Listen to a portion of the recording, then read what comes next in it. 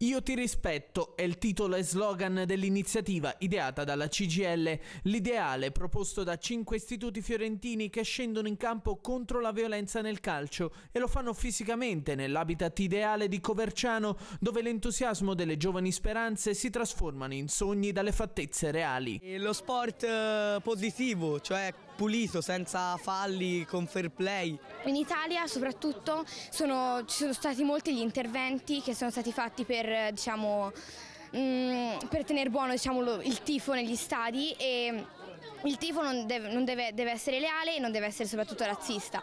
Qual è il vostro pensiero? Cioè di fare correttamente e, ed è più divertente se tifiamo.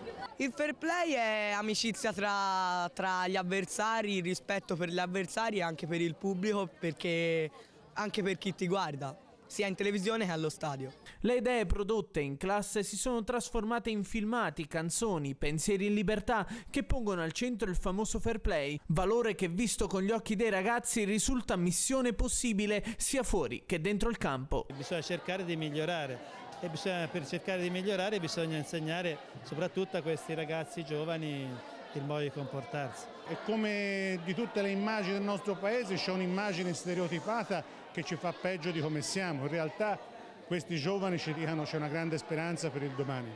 Rossi contro bianchi, ragazzi in campo al fianco delle donne, squadre schierate a classi miste e a vincere è stato lo sport.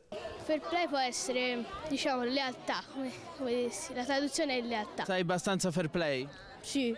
No, sì. Abbastanza. Io penso di sì, lo spero almeno, perché è anche meglio a vedersi lo sport pulito.